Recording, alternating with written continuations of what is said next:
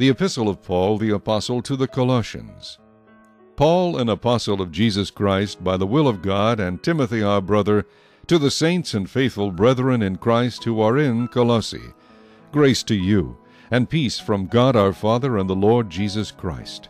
We give thanks to the God and Father of our Lord Jesus Christ, praying always for you, since we heard of your faith in Christ Jesus and of your love for all the saints, because of the hope which is laid up for you in heaven, of which you heard before in the word of the truth of the gospel, which has come to you, as it has also in all the world, and is bringing forth fruit, as it is also among you since the day you heard and knew the grace of God in truth, as you also learned from Epaphras, our dear fellow servant, who is a faithful minister of Christ on your behalf, who also declared to us your love in the Spirit. For this reason we also, since the day we heard it, do not cease to pray for you, and to ask that you may be filled with the knowledge of His will in all wisdom and spiritual understanding, that you may walk worthy of the Lord, fully pleasing Him, being fruitful in every good work and increasing in the knowledge of God, strengthened with all might according to His glorious power,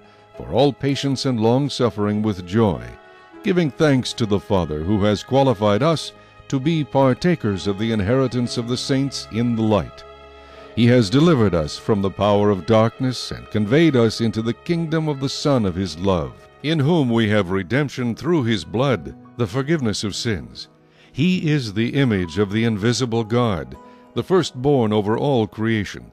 For by him all things were created that are in heaven and that are on earth, visible and invisible, whether thrones or dominions or principalities or powers.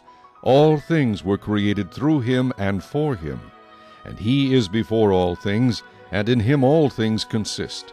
And he is the head of the body, the church, who is the beginning, the firstborn from the dead, that in all things he may have the preeminence. For it pleased the Father that in him all the fullness should dwell, and by him to reconcile all things to himself, by him, whether things on earth or things in heaven, having made peace through the blood of his cross. And you, who once were alienated and enemies in your mind by wicked works, yet now he has reconciled, in the body of his flesh through death, to present you holy and blameless and above reproach in his sight. If indeed you continue in the faith, grounded and steadfast, and are not moved away from the hope of the gospel which you heard, which was preached to every creature under heaven, of which I, Paul, became a minister. I now rejoice in my sufferings for you, and fill up in my flesh what is lacking in the afflictions of Christ, for the sake of his body, which is the church, of which I became a minister according to the stewardship from God which was given to me for you, to fulfill the word of God the mystery which has been hidden from ages and from generations, but now has been revealed to his saints. To them God willed to make known what are the riches of the glory of this mystery among the Gentiles, which is Christ in you, the hope of glory.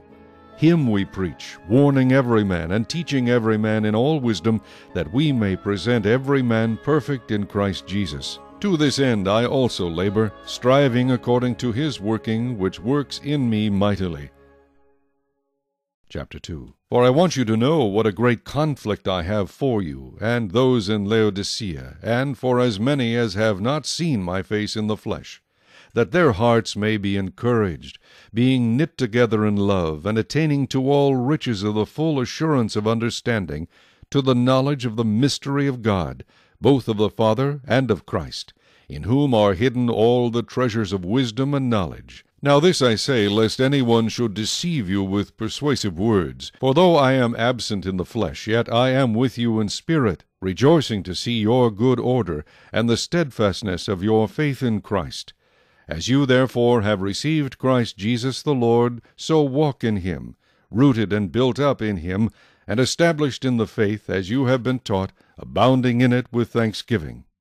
Beware lest any one cheat you through philosophy and empty deceit, according to the tradition of men, according to the basic principles of the world, and not according to Christ. For in him dwells all the fullness of the Godhead bodily, and you are complete in him, who is the head of all principality and power. In him you were also circumcised with a circumcision made without hands, by putting off the body of the sins of the flesh, by the circumcision of Christ, buried with him in baptism, in which you also were raised with him through faith in the working of God, who raised him from the dead. And you, being dead in your trespasses and the uncircumcision of your flesh, he has made alive together with him, having forgiven you all trespasses, having wiped out the handwriting of requirements that was against us, which was contrary to us. And he has taken it out of the way, having nailed it to the cross. Having disarmed principalities and powers, he made a public spectacle of them, triumphing over them in it. So let no one judge you in food or in drink, or regarding a festival or a new moon or Sabbaths, which are a shadow of things to come, but the substance is of Christ. Let no one cheat you of your reward, taking delight in false humility and worship of angels, intruding into those things which he has not seen, vainly puffed up by his fleshly mind, and not holding fast to the head, from whom all the body, nourished and knit together by joints and ligaments, grows with the increase that is from God. Therefore, if you died with Christ from the basic principles of the world, why, as though living in the world, do you subject yourselves to regulations? Do not touch, do not taste, do not handle, which all concern things which perish with the using, according to the commandments and doctrines of men. These things indeed have an appearance of wisdom in self-imposed religion, false humility, and neglect of the body, but are of no value against the indulgence of the flesh. Chapter 3 If then you were raised with Christ, seek those things which are above, where Christ is, sitting at the right hand of God. Set your mind on things above, not on things on the earth. For you died, and your life is hidden with Christ in God. When Christ, who is our life, appears, then you also will appear with him in glory. Therefore put to death your members which are on the earth, fornication, uncleanness, passion, evil desire, and covetousness, which is idolatry.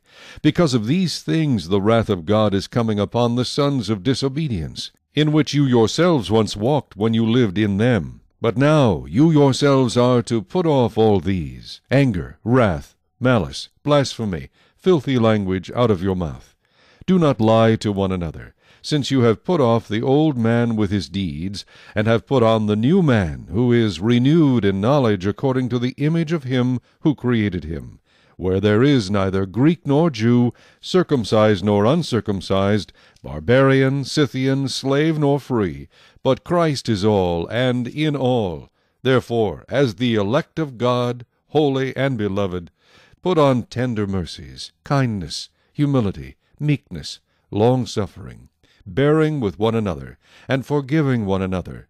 If anyone has a complaint against another, even as Christ forgave you, so you also must do. But above all these things put on love, which is the bond of perfection, and let the peace of God rule in your hearts, to which also you were called in one body, and be thankful. Let the word of Christ dwell in you richly in all wisdom, teaching and admonishing one another in psalms and hymns and spiritual songs, singing with grace in your hearts to the Lord. And whatever you do in word or deed, do all in the name of the Lord Jesus, giving thanks to God the Father through him. Wives, submit to your own husbands, as is fitting in the Lord. Husbands, love your wives, and do not be bitter toward them. Children, obey your parents in all things, for this is well pleasing to the Lord. Fathers, do not provoke your children, lest they become discouraged. Bondservants, obey in all things your masters according to the flesh, not with eye service as men pleasers, but in sincerity of heart, fearing God. And whatever you do, do it heartily, as to the Lord, and not to men, knowing that from the Lord you will receive the reward of the inheritance for you serve the Lord Christ. But he who does wrong will be repaid for what he has done, and there is no partiality. Chapter 4 Masters, give your bondservants what is just and fair, knowing that you also have a Master in heaven. Continue earnestly in prayer, being vigilant in it with thanksgiving. Meanwhile praying also for us, that God would open to us a door for the word, to speak the mystery of Christ, for which I am also in chains, that I may make it manifest as I ought to speak. Walk in wisdom toward those who are outside, redeeming the time. Let your speech always be with grace, seasoned with salt, that you may know how you ought to answer each one. Tychicus, a beloved brother, faithful minister, and fellow servant in the Lord, will tell you all the news about me. I am sending him to you for this very purpose, that he may know your circumstances and comfort your hearts. With Onesimus, a faithful and beloved brother, who is one of you. They will make known to you all things which are happening here. Aristarchus, my fellow prisoner, greets you, with Mark, the cousin of Barnabas, about whom you received instructions. If he comes to you, welcome him. And Jesus, who is called Justus. These are my only fellow workers for the kingdom of God, who are of the circumcision. They have proved to be a comfort to me. Epaphras, who is one of you, a bondservant of Christ, greets you, always laboring fervently for you in prayers, that you may stand perfect and complete in all the will of God. For I bear him witness that he has a great zeal for you, and those who are in Laodicea, and those in Hierapolis. Luke, the beloved physician, and Demas greet you. Greet the brethren who are in Laodicea, and Nymphas, and the church that is in his house.